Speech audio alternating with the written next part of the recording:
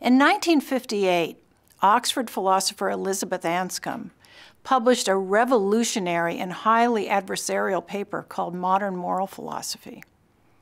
In this paper, she argued that English moral philosophers did not differ from each other in any important sense.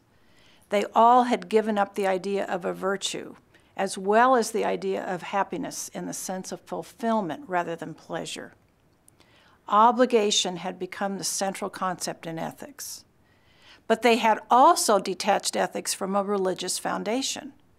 In fact, most of them were atheists. For the followers of Kant, moral obligation meant that each rational being legislates morality for herself. But Anscombe argued that the idea that each of us is a self legislator is incoherent. Our own will is not capable of supporting the weight of moral obligation.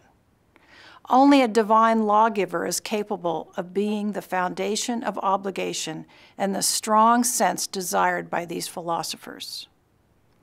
At that time, utilitarianism dominated English ethics. And according to utilitarians, obligation is a matter of maximizing pleasure for as many people as possible. But, Anscombe argued, this approach leads to calling many wicked acts obligations, like the judicial punishment of the innocent. Acting on our obligations cannot simply be a matter of producing good consequences. We can produce good consequences by lying, cheating, stealing, breaking promises, and committing murder. Anscombe's point was that the vast majority of English moral philosophers faced a dilemma. Either return to the idea that there is a God who legislates morality and is the source of our moral obligations, or else give up obligation as the central moral concept and go back to a virtue theory. But to do that, she argued, there is much work to do because we cannot do virtue ethics without first doing a careful philosophical investigation of central ideas that moral philosophy needs, like the idea of an action, an intention, desire, pleasure, motive, emotion.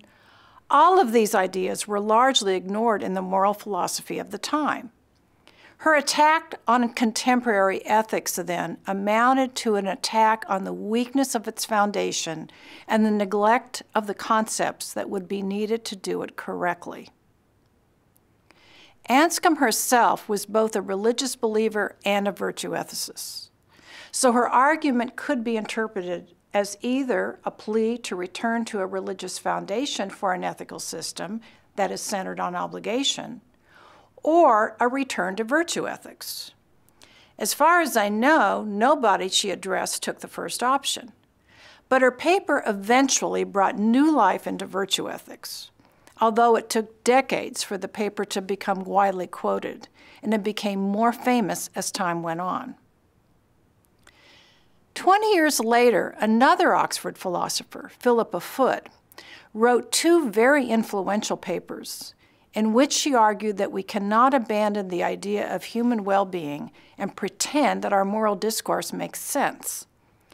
Anyone who uses moral terms must abide by the rules for their use, including rules for what counts as evidence for or against any assertion one makes using a moral term. So suppose we want to say that it is a duty to do something.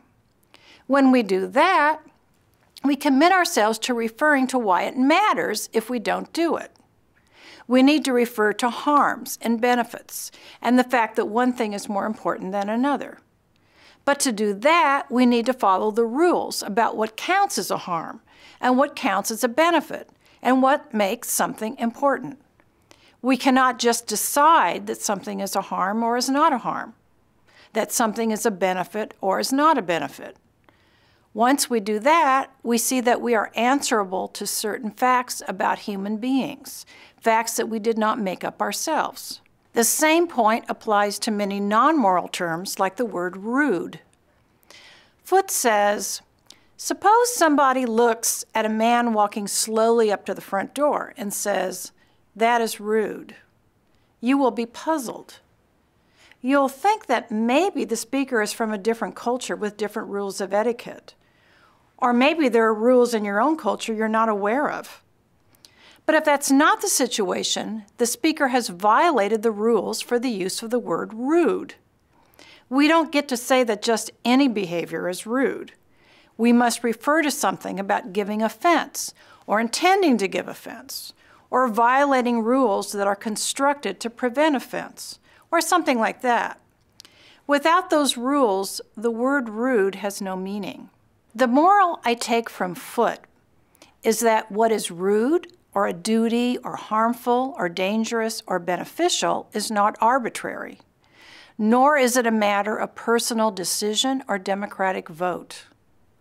The way the world is fixes, or at least constrains, what we can say when we use moral terms, as well as a lot of non moral terms that are connected with them.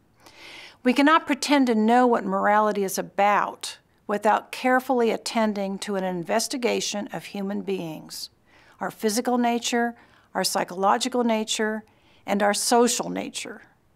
Reference to these aspects of nature are embedded in the way we speak about morality. Philippa Foot came to UCLA in the 1970s when I was a graduate student there, and she was very influential on the development of American virtue ethics in the last decades of the 20th century.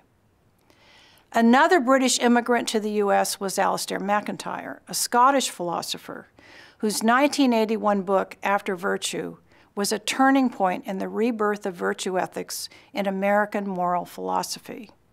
We will study MacIntyre's work next.